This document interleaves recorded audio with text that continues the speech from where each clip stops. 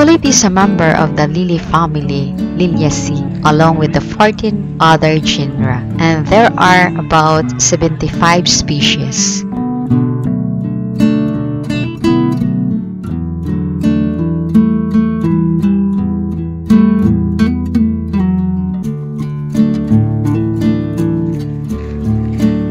Tulip is a member of the lily family Liliaceae along with other 14 genera, where it is almost closely related to Amana, Erythronium, and Gagea in the tribe of Lilieae. There are about 75 species and these are divided among four subgenera.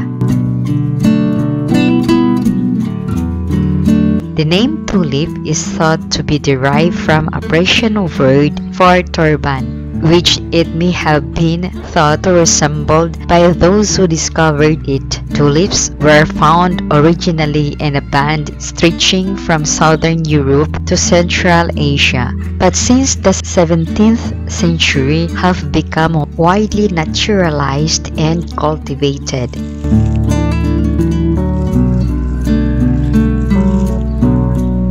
In their natural state, they are adapted to steppes and mountainous areas with temperate climates.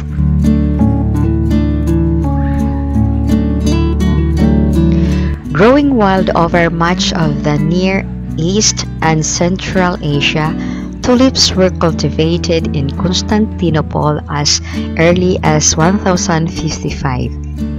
In the 15th century, Tulips were among the most prized flowers, becoming the symbol of Ottomans.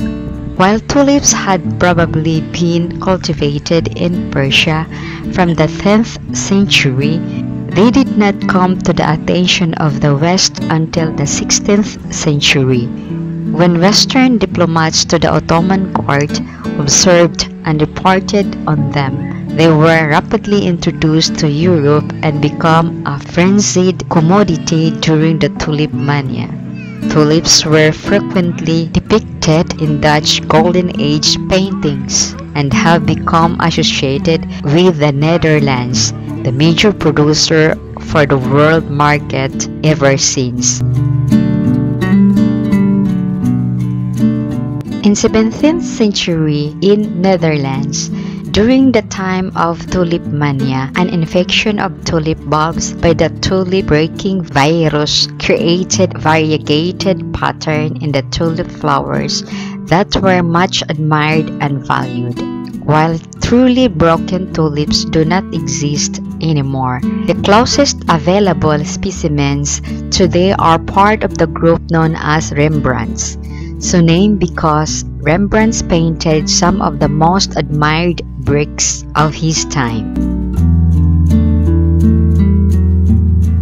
The tulip's flowers are usually large and are actinomorphic or radially symmetric and hermaphrodite or contains androecium and male gynecium characteristics, generally erect or more rarely pendulous and are arranged more usually as a single terminal flower.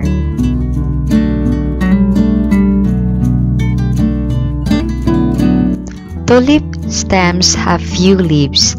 Larger species tend to have multiple leaves. Plants typically have 2 to 6 leaves. Some species are up to 12.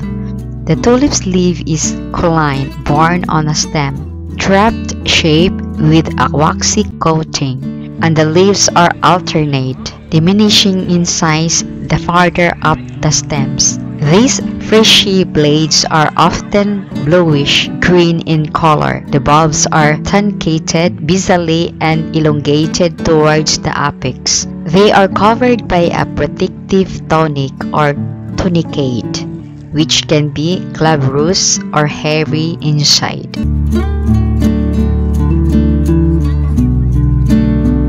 The great majority of tulips both species and cultivars have no discernible scent, but a few of both are scented to a degree and Anna Pavord describes T. hungarica as strongly scented. And among cultivars, some such as Monte Carlo and brown sugar are scented, and cream upstar is fragrant.